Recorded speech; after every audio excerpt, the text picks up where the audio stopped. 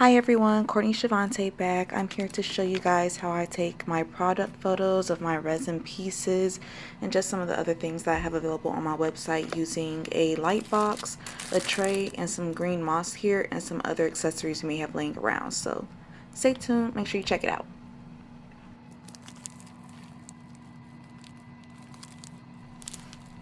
So this is the green moss we're going to start with. Basically what you're going to do is you're just going to take it out of the pack. It comes on a nice little film so it's easy to cut.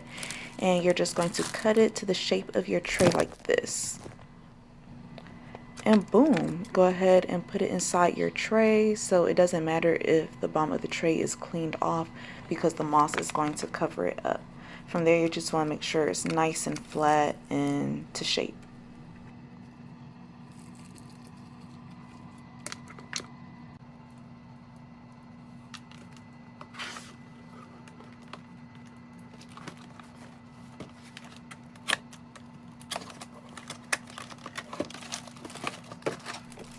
As it turned out, I didn't even need the scissors anymore, so I just put those off to the side. But I went ahead and opened up my light box. It comes with a couple different, you know, accessories and everything. So first I pulled out the instructions, the information about what's inside the box and whatnot, so that I could see what's going on here.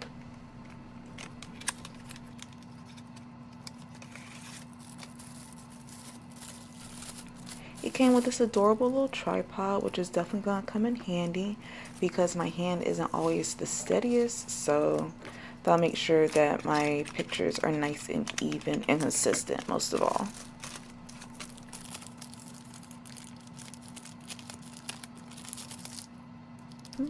This right here is just like a little clip holder for your phone or camera. Um, you stick it in there and it holds it securely and you screw it onto that little tripod. And I guess this is just like a little customer service thing that they sent out.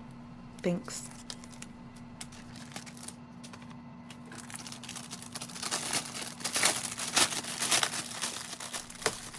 So what I'm opening up now are the backdrops. Um, so these backdrops are going to basically be the background. I guess you guys know what a backdrop is already. These are different colors they come in. I have a black, I have a white, um, I have this gray color, and also I have this pretty blue. Just gonna put these off to the side right quick because I don't need them right now.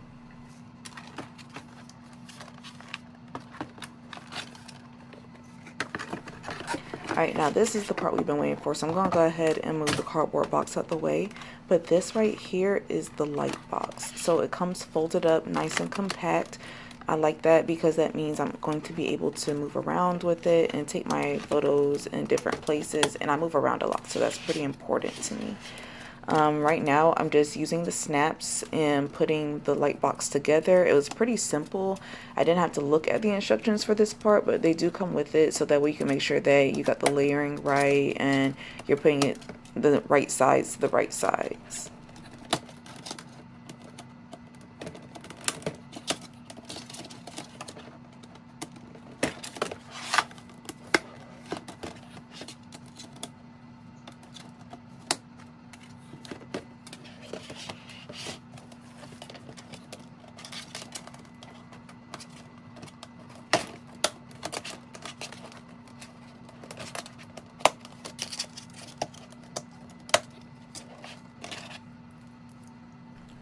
Alright, so inside the box there were these little cords in there.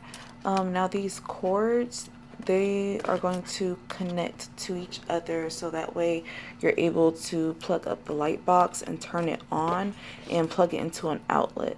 Now it doesn't come with the little block thing um, that you plug into the wall so you are going to need one but I know a lot of us already have like a million of those laying around so that shouldn't be much of an issue. So you're just going to go ahead and plug the holes into the right holes and everything and get that set up.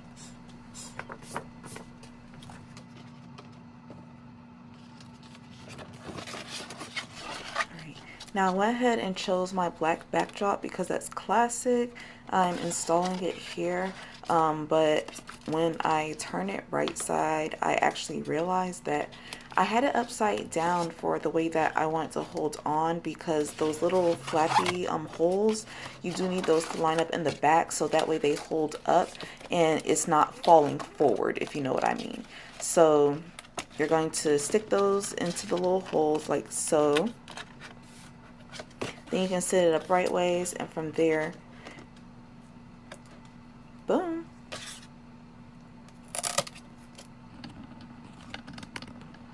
Alright, let me readjust this camera for you too.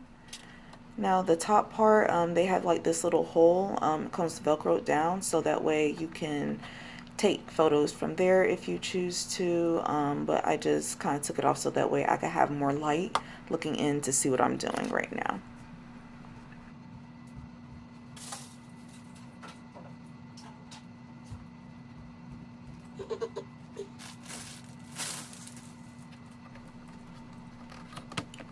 Alright, now this right here is the little charging block I was talking about. Um, so it just has the USB connector.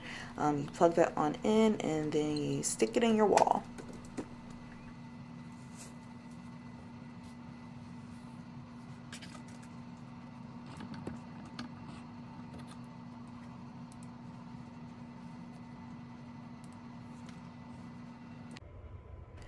Okay, so now we have everything set up. This is how it looks from the front um, you see there's like a nice bit of space in here so that way you can really set your products up how you need it.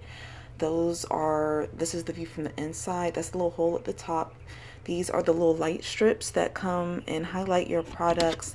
These are the cords on the side. I left mine folded up so that way they wouldn't be in the way because my outlet was actually pretty close by as you can see this little remote is the one that you use to turn it on and off and everything. Um, so this is what it looks like on. Um, there's still nothing in here, but there's really nice illumination. It goes across the entire box and it's really even. So I love it personally. this is what it looks like from the top so that you can get like a better view and everything so you can do aerial or from the front I feel like that's a really dope feature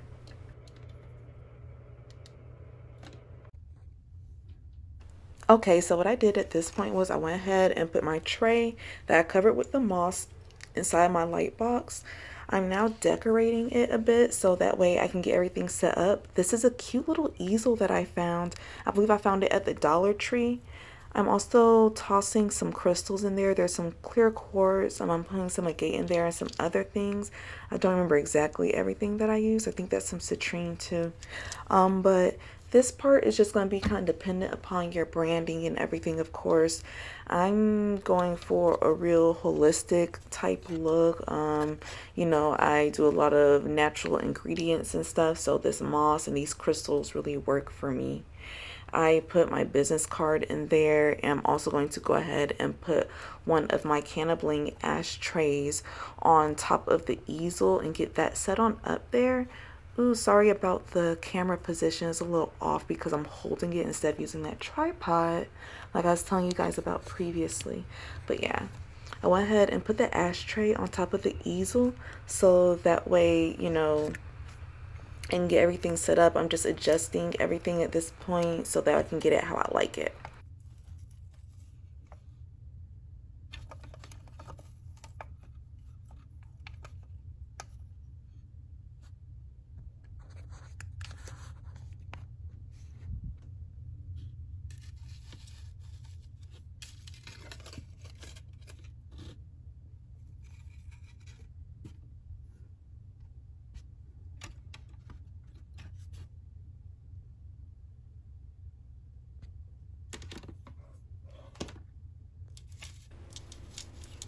Alright, so at this point, what I'm just doing is I'm just making some fine tunes, some adjustments and everything, making sure I have everything how I want it. I'm a bit of a perfectionist, so it's taking a little bit, but we get in there, we get in there. So um, basically, after I do this part, um, I'm going to go ahead and turn it on. Now, the first setting that we're going to try, we're going to work with this cool light. So this is what the cool light looks like. I'm gonna move it around a bit so that way you can see. Yeah, it highlights it really, really nicely.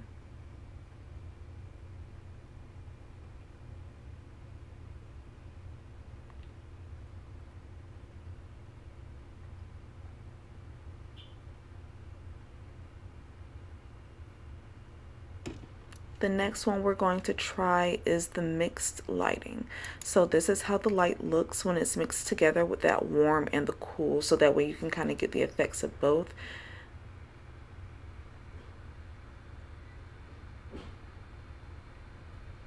I believe this one does illuminate it very nicely and it's a very nice universal one.